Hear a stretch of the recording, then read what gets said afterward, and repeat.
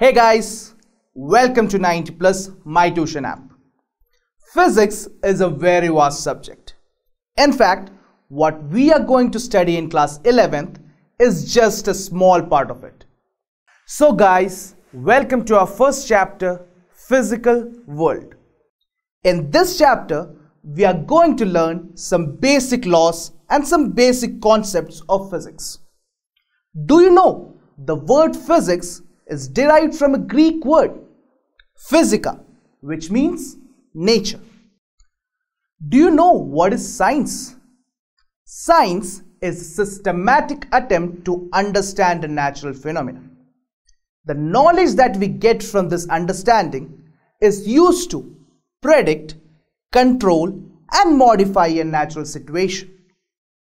The study of physical world is called natural science and it is divided into three parts physics, chemistry, and biology. Do you know what is physics? I'll tell you the definition for physics. Physics is the study of basic laws, their interpretation and application in any natural phenomena or physical situation. There are two basic thrusts of physics unification and reduction. Let's see what is unification. I got a definition for you.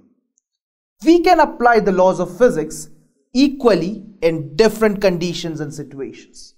Let's see some examples. An apple falling from a tree or the planets revolving around the sun.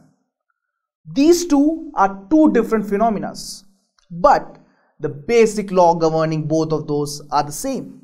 That is, law of gravitation. In the same way, whenever we find a common factor to merge two entirely different things, we call it as unification. Now let's see what is reduction. To understand a bigger and complex system, the properties and interactions of the constituent parts are studied in reduction.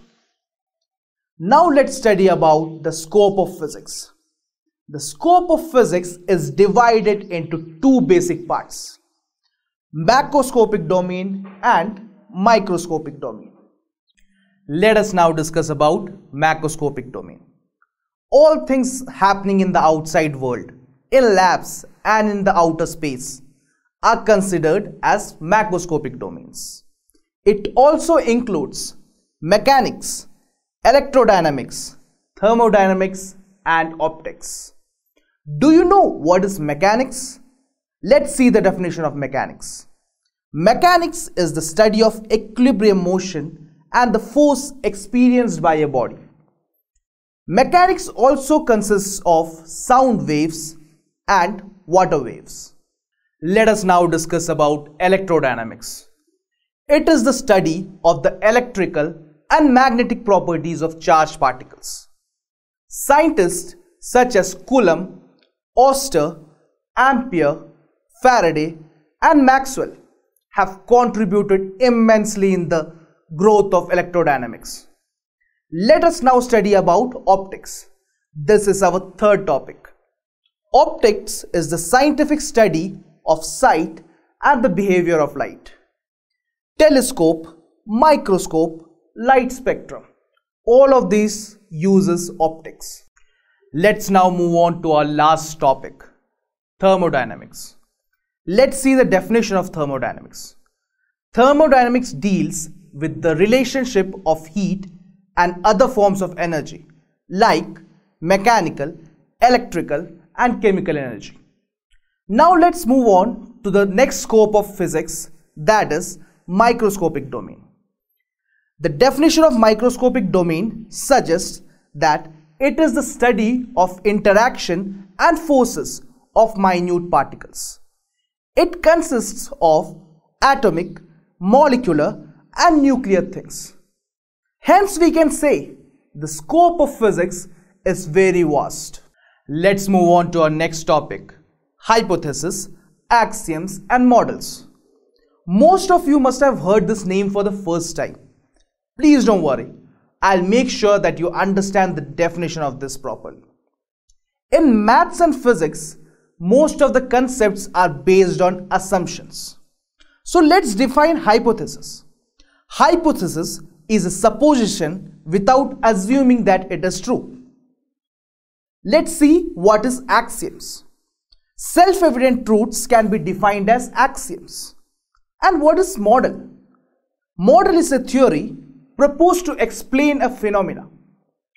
Our next topic is physics, technology and society.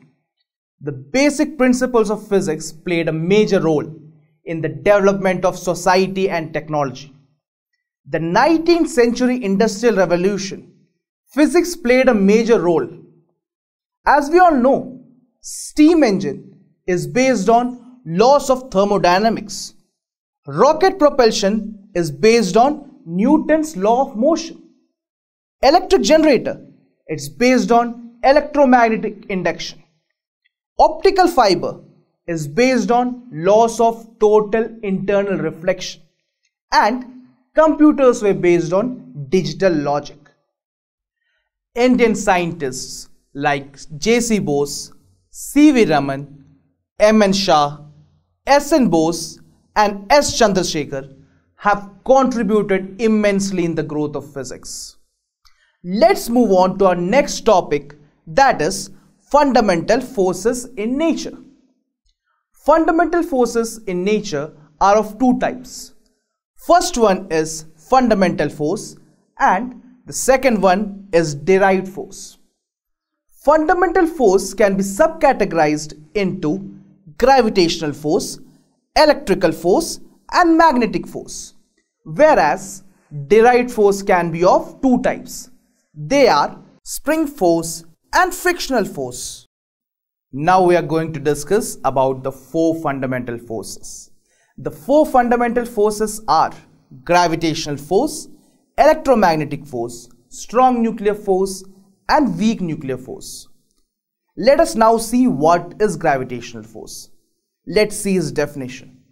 The force of mutual attraction between two bodies by virtue of their mass is called gravitational force. Gravitational force is a universal force, which means all objects in this universe possess gravitational force. It is a long range force. Whenever we throw an object up, it falls down. Satellites revolve our planet. It's all possible only because of gravitational force. Gravitational force also plays a major role in the birth of stars and galaxies. Let's now study about electromagnetic force. Electromagnetic force is also called as Lorentz force. Let's see its definition. Lorentz force explains how both moving and stationary charged particles interact. Do you guys know why it's called electromagnetic force? It's called electromagnetic force because it contains electrical force and magnetic force. There are two types of charged particles, positively charged particles and negatively charged particles. Gravitational force is less than electromagnetic force. In fact, electromagnetic force is 10 power 36 times greater than gravitational force when considered for two protons. Our next force is strong nuclear force we know that in a nucleus there are protons and neutrons. Protons are positively charged particles whereas neutrons are chargeless. In normal condition, protons and protons repel each other and a repulsive force is created. But strong nuclear force is an attractive force that binds protons and neutrons in a nucleus. Protons and neutrons in a nucleus are binded by the strong nuclear force. Strong nuclear force is one of the strongest fundamental force. In fact, it is 100 times stronger than electromagnetic force. It is a charge independent force, which means in case of neutrons and protons, protons or protons, or neutrons and neutrons, the strong nuclear force is equal on all of them. Let's move on to our final force that is weak nuclear force. Weak nuclear force happens only in certain nuclear processes like beta decay. Beta decay is a type of radioactive decay in which a proton is converted into a neutron and vice versa. Weak nuclear force is stronger than gravitational force but is weaker than electromagnetic force. Strong nuclear force is a short range force but weak nuclear force is the shortest range force. So till now we had discussed the four types of forces, right? I hope you must have remembered the names. So let's arrange these four type of forces on the basis of their strength. Gravitational force, weak nuclear force, electromagnetic force, strong nuclear force. In this, gravitational force is the weakest and strong nuclear force is the strongest. Let's move on to our next topic that is nature of physical law. Let's see what is conserved quantity. Conserved quantity can be defined as an unchanged quantity during the start and end of a process. There are six laws based on conserved quantities. They are law of conservation of mass, law of conservation of energy, law of conservation of linear momentum, law of conservation of angular momentum, law of conservation of charge, law of conservation of parity.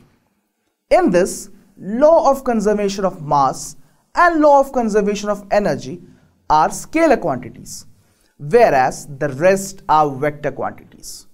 Hence, we can conclude that conserved quantities can be both vector and scalar.